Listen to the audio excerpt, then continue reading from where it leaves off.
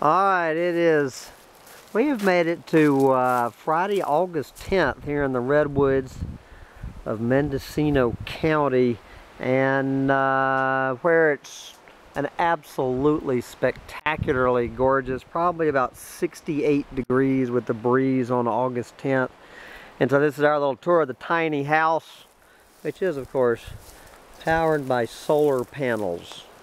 The tiny house. There is no air conditioner that it has to power though. There's the lady of the tiny house and the, the planner. So this is the, the architect, Leslie Dahlhoff, who will, who will fly anywhere in the United States and for $25,000 will build you this on your lot. Yeah. Yeah, okay, for $25,000, call this woman up and uh, and she will uh, come, to, you have to pay the airfare, of course. The 25 grand in the airfare will get you this tiny house. I'm thinking of calling her myself. And uh, so, how many square feet is your tiny house? It's 8 by 14. Okay.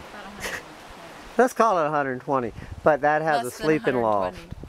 120. And here's the dining room outside. We're not gonna. That's you don't even have to add the dining room into the square footage. And the and the bathroom is through the woods up there. So, but uh, fine woodwork.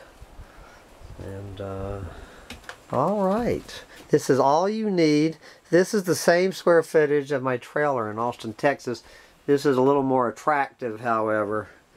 And uh, you've got the inside dining room, which the table folds down. You know, you make another guest bedroom out of the dining room. And you got the, uh, you know, you got your kitchen.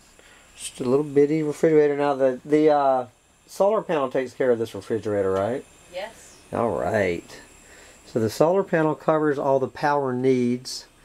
And we got a little propane stove here. And the wood stove for heat. And the, uh, you got the sound system up above. And uh, these stairs up to the master bedroom. And here's the master bedroom. And this is, with this, we're calling it 150 square feet. Right about the size of my trailer in Austin, Texas. But a little bit cooler fine open beam ceilings with skylights to look at the redwood trees through the Where's the pelican bag? skylights. We're looking for a pelican bag. And there you go, guys. The tiny house. Grab one up while you can. Look at the sun coming through the stained glass window. You know you want one of these for your very own.